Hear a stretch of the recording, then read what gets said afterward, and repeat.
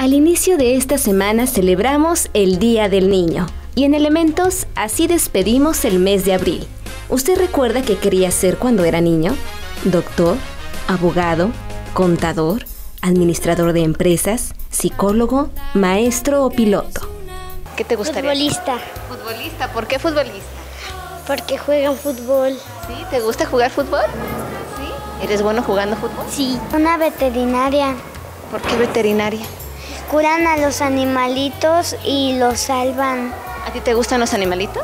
Sí, ¿Tienes alguna mascota en casa? sí, bombocha mi perra. Bailarina, ¿Por qué bailarina? porque me gusta. ¿Bailas mucho?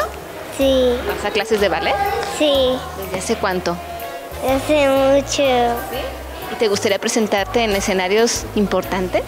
Sí, Y así juegan a ser grandes. Se cayó de la escalera. Sí, ni está lesionado, está vendado, ¿verdad?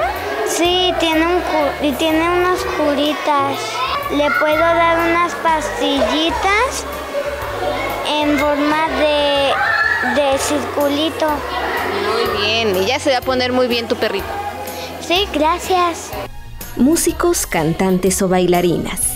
Para esta reportera y conductoras de elementos, nunca imaginaron que jugando iban a encontrar una faceta que en la etapa adulta sería su forma de vida.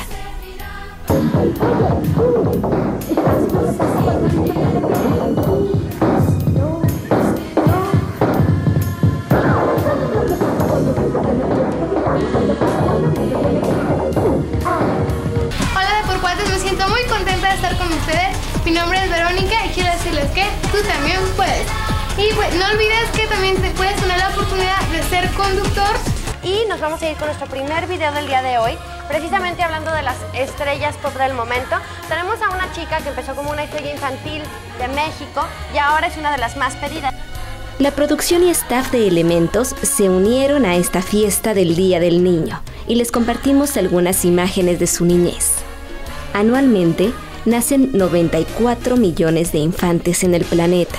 En México, la proporción de niños ha disminuido gradualmente de 39 a 28.7% del total de población, reportó el Instituto Nacional de Estadística y Geografía.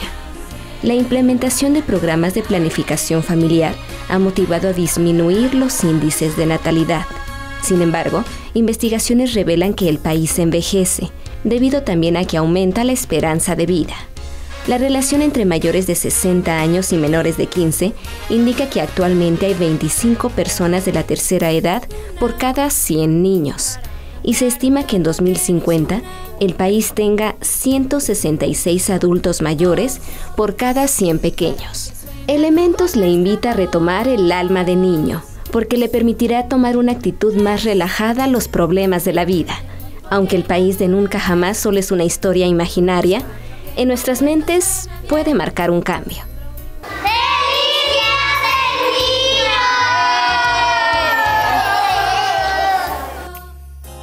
con imágenes de Carlos García Muciño, Mabel Anay Ortega. Elementos. Que otros